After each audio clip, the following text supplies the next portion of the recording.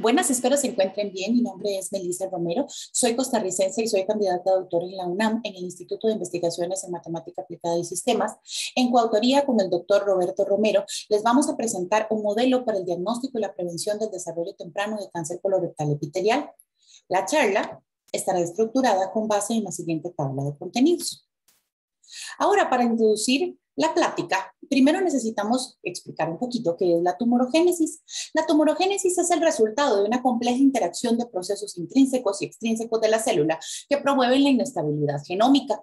De este modo, el microambiente tumoral corresponde a aquellas células normales, moléculas, vasos sanguíneos que rodean y alimentan el tumor, la cual puede cambiar la forma en la que dicho tumor crece y se disemina.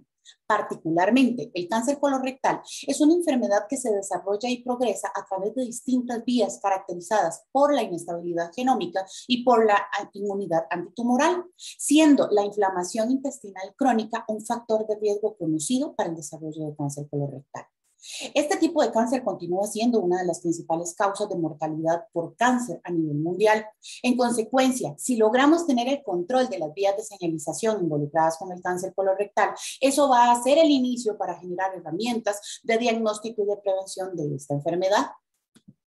¿Todo eso con qué propósito lo hacemos? Bueno, con el propósito de mostrar un modelo matemático que contribuya con el diagnóstico y la prevención del, desarrollo temprano de cáncer colorectal. ¿Por medio de qué lo vamos a hacer? Primero vamos a seleccionar todos los principales agentes que están vinculados en las vías de señalización del cáncer colorectal y seguidamente vamos a establecer una red de interacciones entre todos estos agentes seleccionados. ¿Y esto para qué? Bueno, porque nos va a proporcionar todo el sustento al sistema dinámico que modela las interacciones entre los genes del cáncer colorectal. Ahora, presentaremos brevemente los fundamentos teóricos del cáncer colorectal con el propósito de dar sustento al modelo matemático. Es preponderante mencionar que se va a adoptar la transición epitelio-mesenquimal, que es esta que estamos presentando en la imagen, como la estructura molecular que va a dirigir todo el presente trabajo. ¿Esto por qué? Bueno, porque ocurre una ruptura en el epitelio, dando paso a la conversión de células epiteliales estrechamente unidas entre sí, una con otra, con una morfología poligonal regular y un alto grado de adhesión, que son estas que podemos ver acá, ¿verdad? Y ellas se van a convertir en células mesenquimales, que son estas que se pueden observar acá, que por supuesto tienen una morfología irregular, redondeada o elongada, ¿verdad? Donde las células presentan alta movilidad, implicando esto necesariamente que la pérdida de fenotipo y la pérdida de los marcadores epiteliales, perdón, que son estos que aparecen por acá, como la ganancia de marcadores mesenquimales, ¿verdad? Entonces, básicamente, ¿qué es lo que ocurre? Bueno, una pérdida de la funcionalidad celular y de las vías de señalización, tanto mecánicas como biológicas, al reducirse la adherencia del tejido celular y producirse una ruptura de la membrana. Eso lo podemos ver acá. Cuando las células epiteliales están completamente unidas y ellas se van convirtiendo en células mesenquimales, la membrana celular va perdiendo forma hasta llegar a una ruptura de la misma. Ahora, vamos a ver entonces cuáles son esos agentes que intervienen en el desarrollo de cáncer colorectal. Están esquematizados acá, son tres grandes grupos. Primero, los morfógenos, ¿verdad? Que ellos son un sistema de sustancias químicas que se difunden a través del tejido y se relacionan dentro de ella, como por ejemplo la beta-catenina, que más adelante vamos a ver que la vamos a simbolizar con un M1, ¿verdad? Que es el principal componente de adhesión de célula a célula y regula el crecimiento celular. Ahora, las proteínas de WNT son aquellas que regulan el crecimiento de las células madres y son primordiales en la vía de señalización de activación de las proteínas WNT beta-catenina, que ya lo vamos a explicar, ¿ok?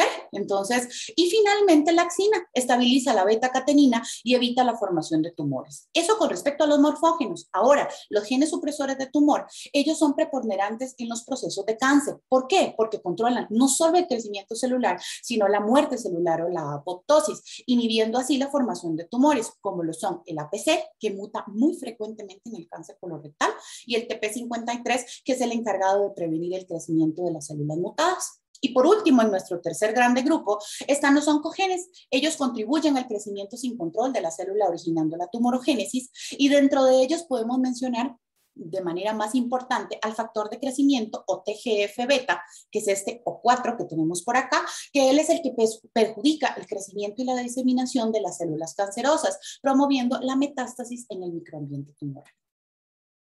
Ahora, como lo mencionamos anteriormente, para poder conocer el proceso del cáncer colorectal, del desarrollo del cáncer colorectal, es indispensable conocer las vías de señalización del WNT, de las proteínas de WNT, beta-catenina. La vía de señalización activa, que es esta primera imagen que les estamos mostrando por acá, es donde el WNT se une con el LRP56, que es la lipoproteína, y con el FZD, que son los receptores. Al producirse esta unión, ese WNT puede ingresar al citoplasma de la célula, dándose lo que se conoce como el complejo de destrucción, junto con todos estos agentes, ¿verdad? Y ya ellos van a permitir entonces la transcripción de los genes o se va a dar una traslocación de la beta-catenina al núcleo y se va a facilitar la fosforilización de este morfógeno produciéndose un fenómeno activatorio, perdón, como este que está aquí del WNT. Entonces, cuando esta WNT sí está adherida, puede ingresar y realizar el complejo de destrucción y puede darse la transcripción de genes. ¿Qué sucede en la de señalización inactiva? Pues todo lo contrario, el WNT no puede adherirse a la lipoproteína ni al FZD, no puede entonces ingresar al citoplasma y se da una degradación proteasomal, produciéndose entonces un fenómeno inhibitorio del WNT. Ahora, vamos a mencionar entonces el sistema dinámico no lineal de los fenómenos cooperativos. Ahora, con el propósito de dar fundamento teórico matemático, es indispensable conocer las reacciones químicas propuestas por Michaelis Mendel en 1913. Estas reacciones, que es esta reacción enzimática básica que está acá, consisten en una molécula de sustrato que, se, que reacciona con una enzima en un único sitio de unión. Eso es lo importante. Ahora, forman entonces un complejo SE por medio de una reacción reversible, que es esta simbología que podemos ver acá, y entonces que a la vez se convierte en un producto y la enzima nuevamente por medio de una reacción irreversible, que solo puede ir en una dirección básicamente, ¿verdad? Entonces, estos, en todos estos casos, la velocidad de reacción se representa con la constante K, K1, caso 1, perdón, caso menos 1 y caso 2, ¿verdad? ¿Y ellas qué van a hacer? Bueno, van a hacer la velocidad de reacción. ¿Eso qué va a medir? La proporción entre la desintegración del complejo y la formación de este mismo complejo, ¿verdad? Entonces, como lo mencionamos anteriormente, en una reacción enzimática básica hay un único punto de unión. En los fenómenos cooperativos no. En los fenómenos cooperativos vamos a tener muchos sitios de unión que se van a representar con la letra N y van a ser los coeficientes de Hill. ¿Por qué los coeficientes de Hill porque todas estas ecuaciones son funciones de Hill. Entonces, esos coeficientes de Hill siempre van a ser menores o iguales que el número de moléculas involucradas en la reacción que están representadas por la letra N. Entonces, esos fenómenos activatorios e inhibitorios, ¿por qué se, por qué se diferencian? Bueno, porque entonces aparte de que son una función de los dos, lo que los diferencia es que hay una velocidad máxima con la que se forma el producto en los fenómenos activatorios es de 1 y la, la, velocidad máxima con la que se forma el producto en los fenómenos inhibitorios es de menos 1. Acá en la autorregulación no incluimos las ecuaciones porque pueden en la, en la autorregulación existen todas esas eh, interacciones de la gente consigo mismo, pero se representan con funciones de Hill y pueden ser activatorios o inhibitorios. Ahora, todo esto que mencionamos acá se puede resumir completo en esta figura. En esta figura, los fenómenos activatorios están de color verde y los fenómenos inhibitorios están de color rojo. Podemos ver que conforme se va aumentando ese exponente, ese coeficiente de Hill o esa M, conforme ella va aumentando los números de sitios de, activación, se va a alcanzar con mayor rapidez el estado estacionario. Entonces, conforme esa M, ese sitio de activación sea 1 o ese sitio de activación sea 2 o se activen en 6 sitios, por supuesto que se va a alcanzar mucho más rápido el estado estacionario. Pasamos a la construcción del modelo del cáncer colorectal, ¿verdad? Vamos entonces a hacer la construcción de un sistema dinámico para estudiar las estabilidades del sistema de las ecuaciones diferenciales, utilizando técnicas de linealización. ¿Esto por qué? Porque cuando se forma más de un producto, como lo vimos anteriormente, se generan ecuaciones no lineales. Las ecuaciones diferenciales del modelo van a tener esta estructura que está por acá, ¿verdad? Donde SI es el subíndice que varía de acuerdo al morfógeno, que fue el esquema que vimos, al gen supresor de tumor y al oncogen, SX sub I representa el estado de cada una de esas variables, M1, M2, M3, etcétera. Ese alfa de X sub I son las tasas de activación que dependiendo si, la, si es la parte activatoria o la parte inhibitoria del gen la que gobierna el desarrollo del sistema, así se le va a dar ese valor. El mu de X sub I es la tasa de autodegradación, que ya la mencionamos anteriormente. Esta función R sub I es la que va a presentar los procesos de autorregulación y la H sub J es la que va a presentar la fuerza de interacción entre los genes. Eh, evidentemente, pues obviamente de requerir más información acá de todos los pormenores de la construcción de los parámetros, de la construcción de las ecuaciones, pues por cuestiones de tiempo, ¿verdad? Deseamos que nos contacten y luego vamos a dar nuestro número de contacto para que ustedes puedan saber un poco más de toda esta, la construcción que está detrás de este modelo.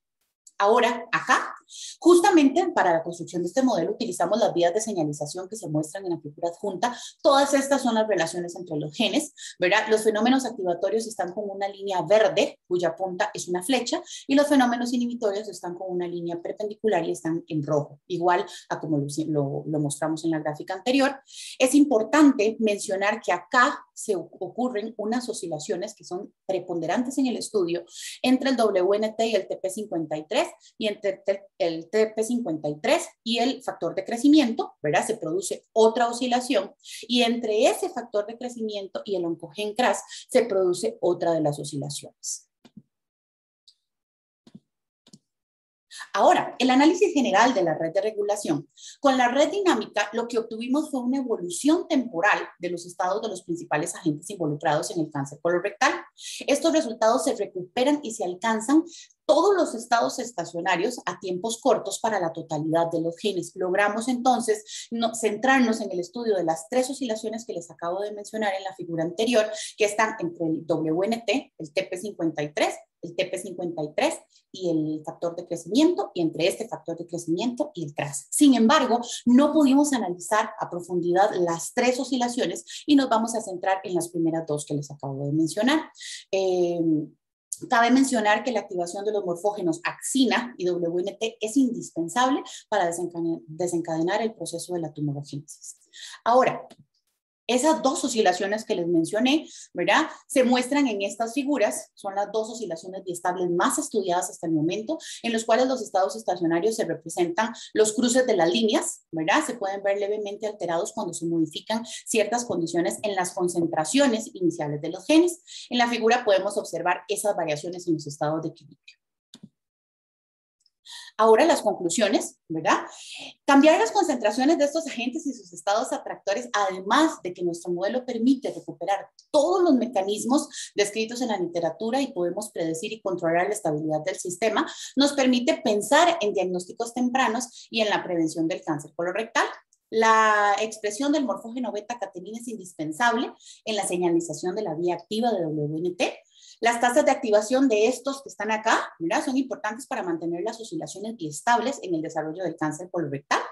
La dominancia de una oscilación biestable respecto a la otra, la primera oscilación es muchísimo más estable que la segunda oscilación y el oscilador CRAS y WNT y TP, el factor de crecimiento, perdón, ese también es súper importante, pero pues está en desarrollo. Entonces, eh, para, acá están los datos de contacto, ¿verdad? Nos encantaría poder darles muchísima más información, ¿verdad?